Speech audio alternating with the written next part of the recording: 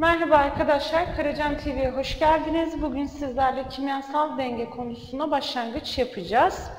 İlk olarak bir kimyasal denge ile ilgili bir tanımlama yapalım. Fiziksel ve kimyasal değişimlerde denge. Şimdi bütün fiziksel ve kimyasal değişimlerde arkadaşlar denge söz konusu olacağı zaman dengenin kurulabilmesi için iki şart gerekli. Birincisi maksimum düzensizlik, ikincisi minimum enerji eğilim olma. Yani bu iki düzen olayı, iki kural birbiriyle çakıştığı zaman denge kurulacak. Yani maksimum düzensizlik diyelim ki ürünler yönünde, minimum enerji eğilimde girenler yönünde. Bu şekilde ters olduğu zaman arkadaşlar denge tepkimelere kurulacaktır.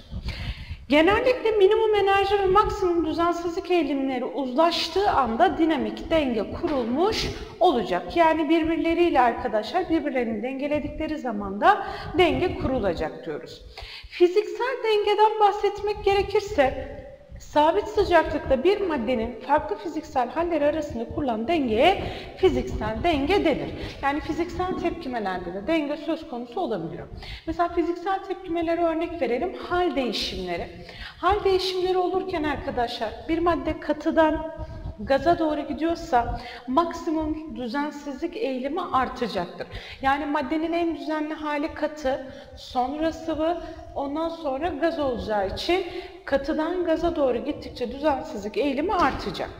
Peki eğer gazdan katıya doğru bir yönelme olursa yani gitme olursa bu sefer de minimum enerji eğilimi artış gösterecek bu noktada.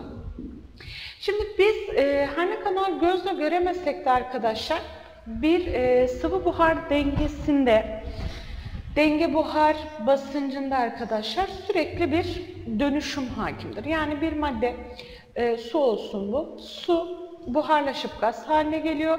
Tekrar yoğunlaşarak sıvı haline gelebiliyor arkadaşlar. İşte bir süre sonra bu gözle görülen olay bitecek. Ama siz gözle görmeyi bitireceksiniz. Yani makroskopik olayların bitip mikroskopik olayların başladığı andan itibaren denge kurulacak arkadaşlar. Bu durumda Hemen minimum enerji ve maksimum düzensizliği inceleyelim. Isı girenler tarafında olduğu için minimum enerji eğilim girenler yönündedir. Madde sıvı halde burada, burada gaz halde. Sıvıdan gaza doğru gittiğimizde düzensizlik artacağı için maksimum düzensizlik eğilimi ise ürünler yönünde olacaktır. Yani bir süre sonra arkadaşlar buharlaşma hızı yoğuşma, yoğunlaşma hızına eşit olduğu andan itibaren denge kurulacak. Evet. Gaz, sulu çözelti, saf sıvı, saf sıvı, saf katı. Arkadaşlar Yine söyledik, katıdan gaza doğru geldikçe düzensizlik artacak. Bir tepkimede gaz molekül sayısının çok olduğu yerde maksimum düzensizlik eğilimindedir diyoruz.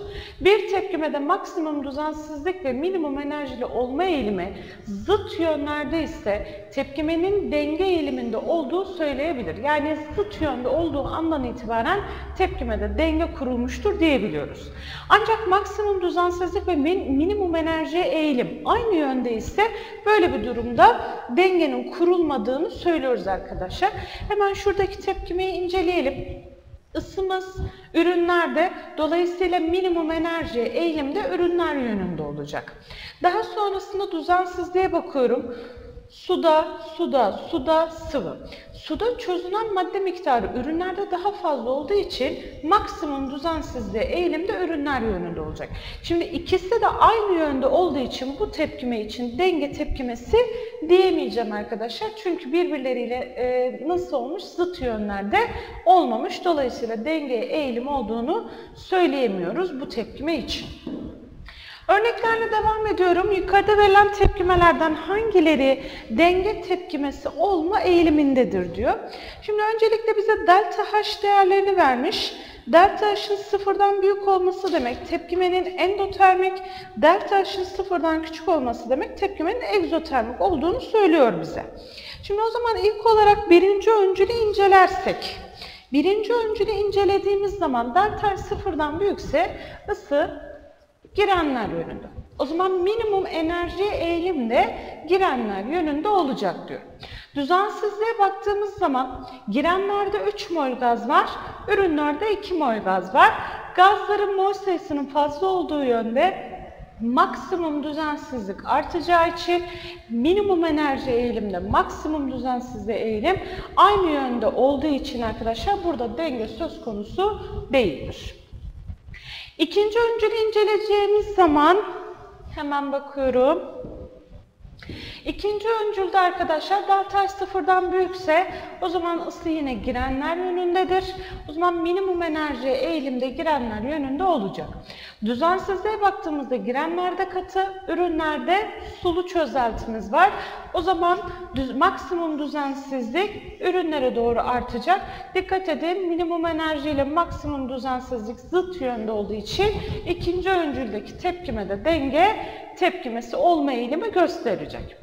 Üçüncü öncülümüze baktığımız zaman burada delta sıfırdan küçük diyorsa o zaman ısımız ürünlerde minimum enerji eğilimde ürünler yönünde olacak. Düzensizliğe baktığımız zaman katı, katı gaz, girenlerde gaz olduğu için maksimum düzensizliğe eğilimde girenler lehine olacak. Dolayısıyla yine zıt yönde birbirleriyle e, uzlaştıkları için denge tepkimesi olma eğilimi gösterecekler. İkinci ve üçüncü tepkimelerimiz denge tepkimesi eğilimindedir diyoruz. Dengenin kurulabilmesi için sistemin kapalı ve sıcaklığın sabit olması gerekir. Ee, bu öncüle uyarıya dikkat ediyoruz arkadaşlar. Sistem kapalı ve sıcaklık sabit olacak. Hem ileri hem de geri yönde gerçekleşebilen tepkimelere ters sinir tepkimeler denir. Ters sinir tepkimeler çift yönlü ok ile gösterilir. Denge tepkimeleri ters sinir tepkimelerdir. Denge anında gözlemleyeceğimiz 5 tane madde var arkadaşlar. Denge anında artık ileri tepkime hızı geri tepkime hızına eşit olacak. Gözlenebilir yani makroskobik olaylar duracak ancak gözlenemeyen mikroskobik olaylar devam edecek. Kimyasal denge anında tepkimeler durmamıştır. Yani yine devam ediyor dinamik bir halde. İleri ve geri yöndeki tepkimeler eşit hızda devam edecek. Genellikle minimum enerji ve maksimum düzensizlik eğilimleri uzlaşacak. Maddenin derişimleri sabit olacak. Bu öncüle dikkat edelim. Maddenin derişimleri sabit demesi eşittir anlamına gelmiyor arkadaşlar. Sadece sabittir. Ve denge tepkimelerinde hiçbir zaman madde bitmez. Yani tam verimle tepkime gerçekleşmez. Denge anında kapta e, tepkimede bulunan bütün maddeler vardır. Bir de dedik ki buradaki maddemizde sistemin kapalı olması lazım dedik. Ama oysa ki sulu çözeltilerde su kapalı sistem gibi davranacak. Hemen şu şekilde gösterelim.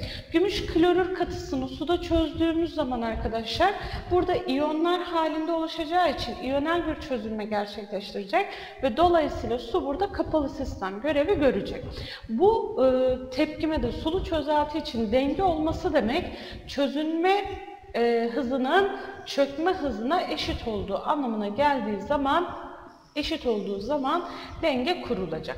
Bir kimyasal dengede kapalı bir sistemde sabit sıcaklıkta gerçekleşen tersine bir kimyasal tepkimede girenlerin ve ürünlerin derişimlerinin zamanla değişmez duruma gelmesi haline kimyasal denge denir. Bakın grafiklerde çok daha iyi açıklayacağız. Şimdi bir tepkime vermiş bize. Fosfor pentaklorür, fosfor triklorür ve klor gazını ayrışmakta burada. Bu tepkime aynı zamanda ters yönde ilerleyip fosfor pentaklorür de oluşturabilir.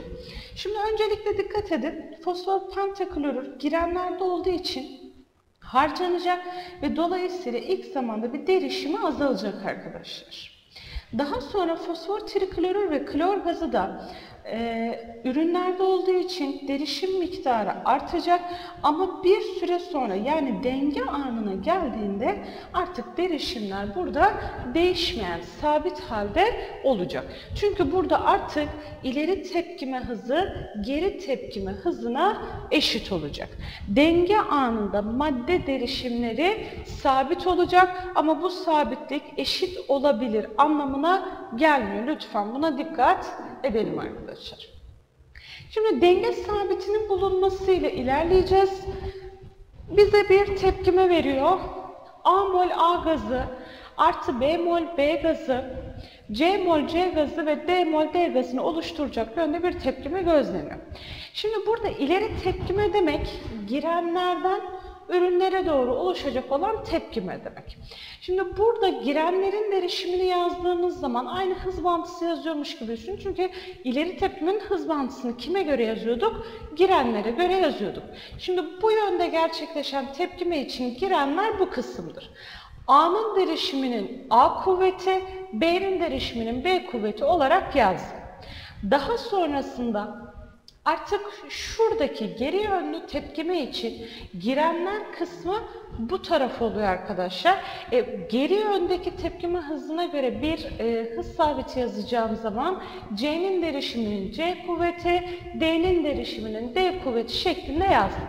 Şimdi biz hep dedik ki ileri yönde tepkime hızının geri yöndeki tepkime hızına eşit olması lazım. O zaman buradaki iki tepkimeyi birbirine eşitleyeceğiz. Eşitlediğimizde arkadaşlar ileri tepkime hızını geri tepkime hızını ileri tepkime hızına oranladığımızda bize denge sabitini verecek. Yani aslında burada kısacası özetlememiz gerekirse KC yani derişimler türünden denge sabiti, ürünlerin derişimi bölü girenlerin derişimi olacak. Bu da KC'nin çıkarılmasının bir ispatıydı. E, bu şekilde göstermiş olduk. Denge sabiti bulunurken yazılan denge bağıntılarına asla saf katılar ve saf sıvılar yazılmaz arkadaşlar. Gaz fazında ya da sulu çözelti halde bulunan maddeler yazılır. Maddelerin derişimlerinin üzerine denkleştirilmiş denklemdeki katsayılar üst olarak yazılır. Zaten bunu kimyasal tepkimelerde hız e, bağıntısını oluştururken de ne yapıyorduk? Şurada örnek vereyim. E, A gazının derişiminin üssü A dereceden diye yazıyorduk. Aynı işlemi burada da yapıyoruz. Aradaki tek fark hız bağıntısı yazarken sadece girenlerin derişimini yazıyorduk. Artık denge bağıntısı yazdığımız zaman ürünlerin derişimi bölü girenlerin derişimi olarak yazıyoruz. Örneğimizde devam edelim. Aşağıda verilen denge tepkimelerine ait denge bağıntılarını yazınız diyor. O zaman hemen denge bağıntılarımızı oluşturmaya başlayalım. Öncelikle A şıkkını yapalım. Dedik ki KC eşittir ürünlerin derişimi bölü girenlerin derişimi olacak ve bu gaz ya da sulu çözelti halinde alacağız. Ürünlerimizde hidroklorik asit var. HCl'nin derişiminin baş katsayısı 2 olduğu için bunu üst olarak yazıyor. Girenlere geldim.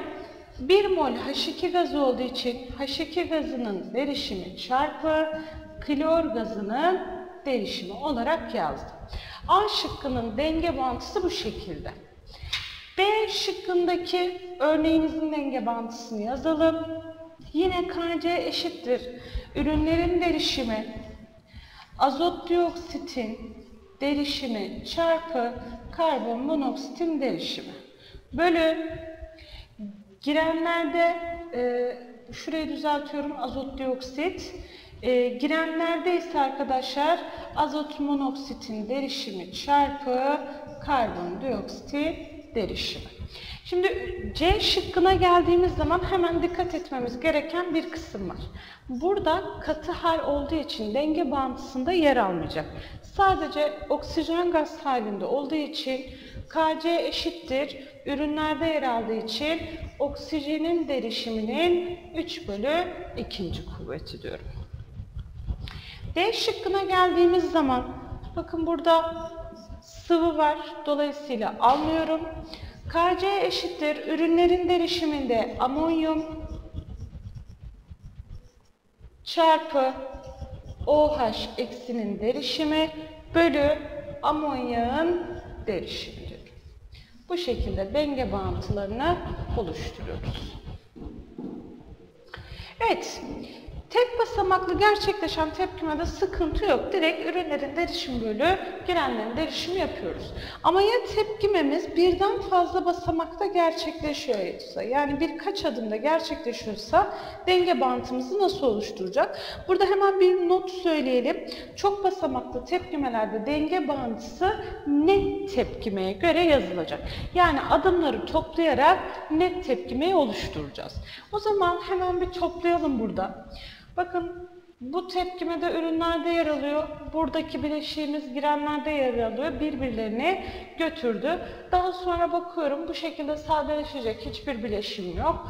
Ya da e, iyonum yok. Dolayısıyla net tepkimeyi yazıyorum. 2 mol aynı iyondan burada vardı. 1 mol burada var. O zaman toplamı 3 mol olarak yazdım. Aqua yani suda çözülmüş halde. Girenlerde artık yazabileceğim hiçbir maddem yok. Hemen ters sinir işaretini yaptım. Bakın burada ürünlerde 1 mol klor, burada 1 mol klor vardı. 2 mol klor olarak yazdım toplamını. Daha sonra bakıyorum burada yine bir iyonum var.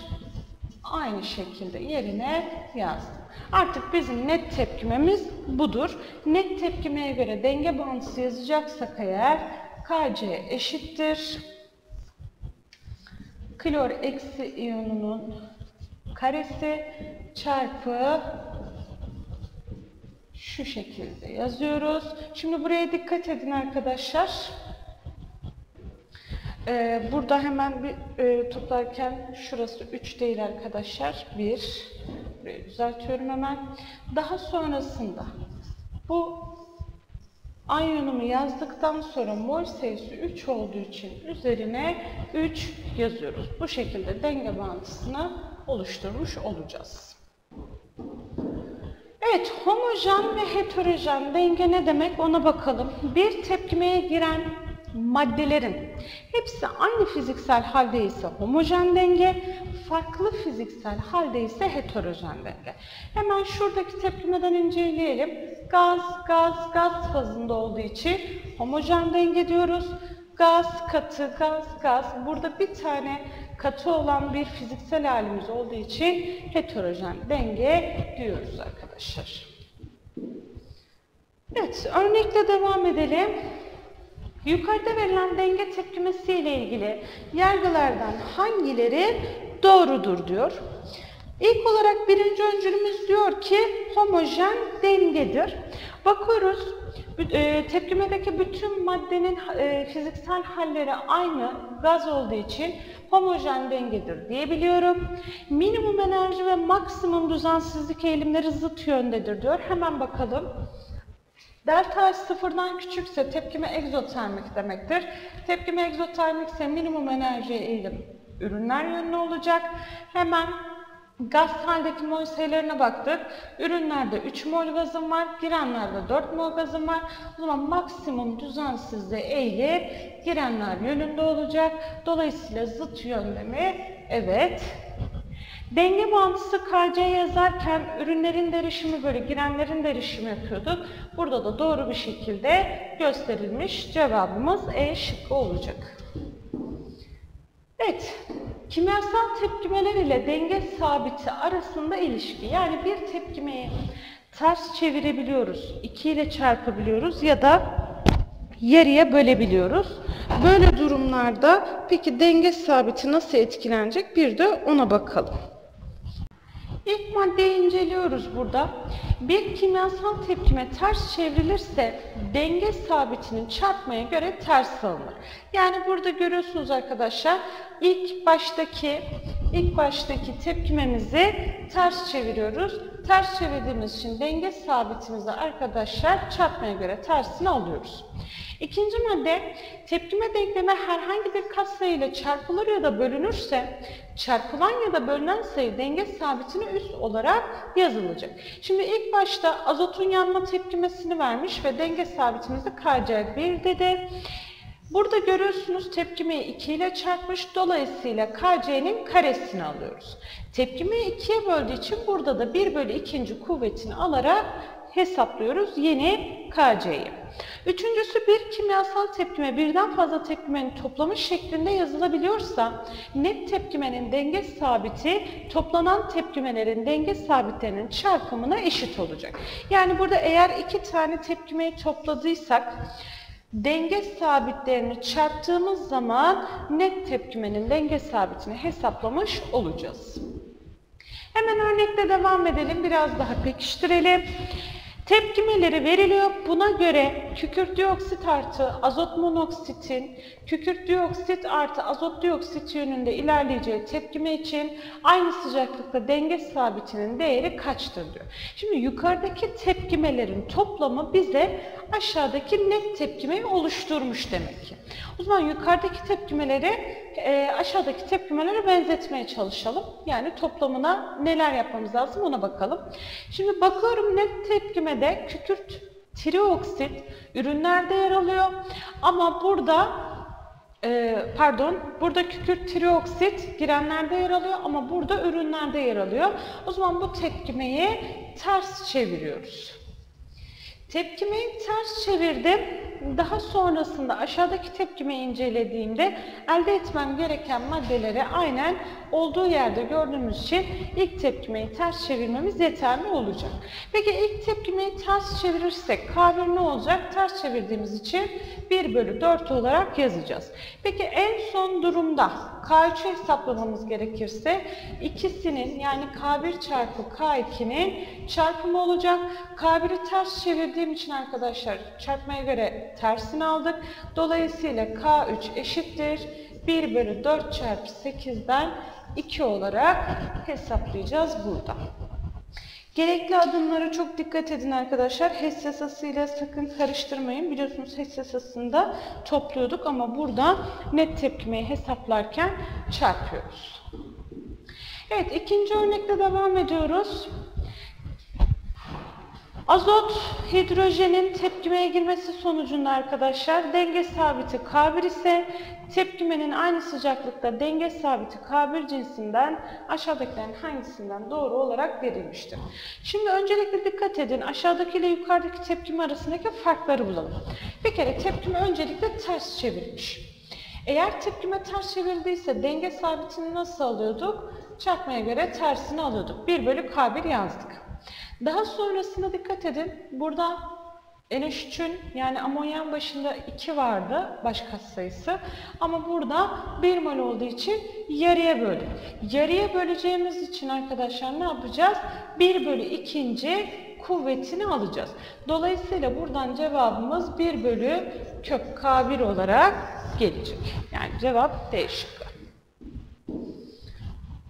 İkinci e, başka bir örneğimizde devam ediyoruz. Yukarıda verilen denge tepkimesine ait denge bağıntısı verilmiştir.